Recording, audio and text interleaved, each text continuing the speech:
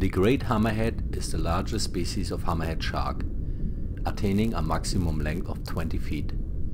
It is found in tropical and warm temperate waters worldwide, inhabiting coastal areas and the continental shelf. The solitary, strong-swimming apex predator is feeding on a wide variety of prey, ranging from crustaceans to bonefish, stingrays and even smaller sharks. Observations of these species in the wild suggest that the cephalofoil functions to immobilize stingray, a favorite prey.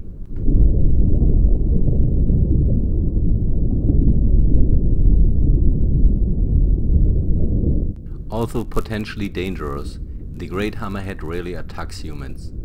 It sometimes behaves inquisitively towards divers and should be treated with respect.